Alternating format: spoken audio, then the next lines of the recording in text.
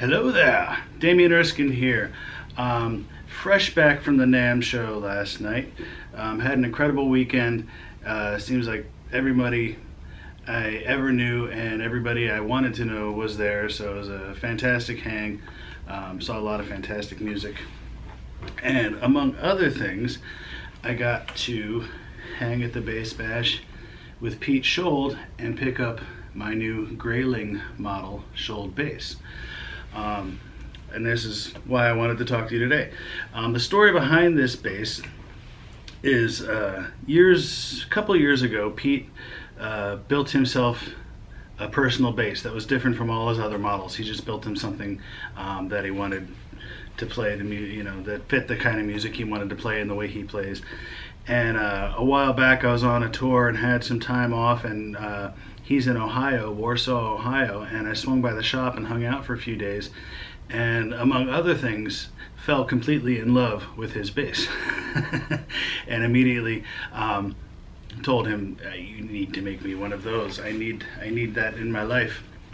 And he obliged me, and now it, it's turned out so well. He decided to turn it into a model. It'll be called the Greyling. Um, it's a completely passive bass, and mahogany body. Um, this bass in particular, at least. Um, I believe it's a maple neck. Looks like a. Uh, ooh, I'm not. Of, I'm bad with woods. A dark wooded fingerboard. I should ask him. Um, the thing about this bass is, I told him um, that I wanted kind of a more. Uh, I, I, love my four-string Skjold. The one thing it doesn't do is kind of old school passive style, you know, P bass kind of vibe and I really wanted just a nice passive old school sounding four string bass because it fit a lot of the gigs that I do around town here. Um, and so he came up, this has a Skjold tone preamp and pickup of his own design. it's all Skjold from top to bottom. And the neat thing about this pickup is it's basically kind of a Music Man placement.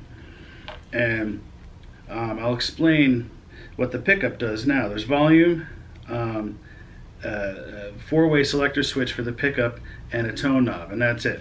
Now the four-way selector switch um, makes it so you have P bass, um, P bass uh, placement,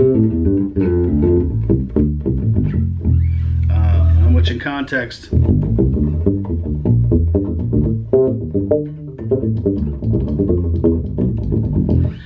I was at the bass bash and I could really turn the amp up a little bit and play it, it really came to life. It was very dynamic. So we have P in both pickups in series, both pickups in parallel, um, and then reverse P, which is very cool because as you know, on a P style pickup, you have the, the the lower two strings, the pickups a little forward, and the top two strings, the pickups are a little back. So you get a little more um, rounded, warmer sound on the lower strings and a little bit of a higher, uh, treblier, I guess, sound on the upper strings. And reverse P kind of balances that out. Pushes the back strings back towards the bridge and the front strings up towards the neck, which uh, is kind of a more balanced version of that. So here's P.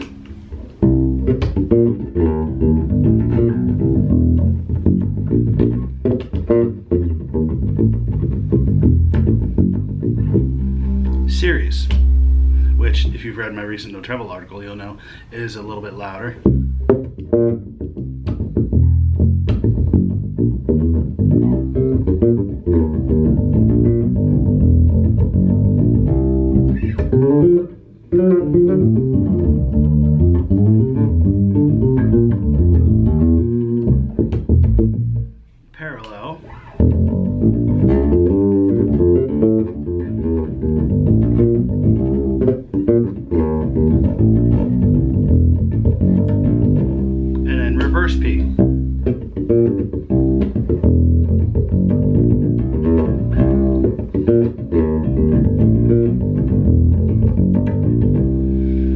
Course tone knob so you can roll it all the way up, roll it all the way back.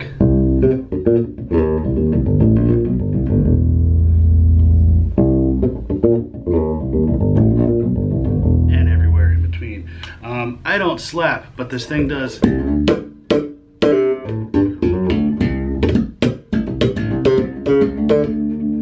that's about as much as I can do with that.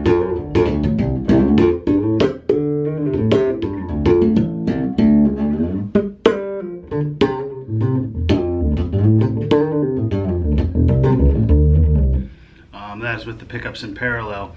Um, I am just, I was completely fell in love with this bass of the show. I couldn't stop playing it. It plays, it's like butter. I mean, it feels incredible. The ergonomics are fantastic. Plus, it's just got this great kind of old school, um, maybe a dash of Alembic with a little bit of like a Gibson or you know SG something kind of vibe. I love I love the aesthetic of it, um, but more importantly, it sounds phenomenal and plays phenomenally. And the pickup is uh, and the, this pickup selector and everything. It just works beautifully. I got all kinds of different sounds. but I could really crank the amp in here in my studio. I can't crank it that much, um, but I brought the Aguilar out so I could get at least as close to my tone as I could instead of playing through the computer speakers. Um, this little two-piece bridge. I mean, it's just a classy looking instrument. Also, uh, I have the drop D tuner so I can get a little low if I need to.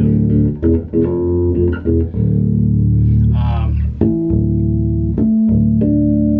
need to tune it a little bit, but um, 33 inch scale, mahogany body, Skjold tone preamp, um, pickup. It's got a little dragon on there. You probably can't see it in the im- image. Um, volume, four-way pickup selector, P series, parallel, reverse P. Great idea. And tone knob. And that's it. Thing does everything.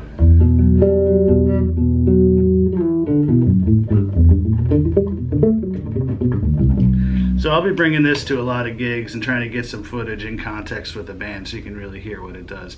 Um, but I just wanted to give a little quick little blam. Here it is because I know I've been talking about this bass a little bit and been excited about it. So I figured I'd let you all check it out. All right. Hope you all are well. I will see you on the road or in town, and uh, hopefully you will hear this bass in action soon.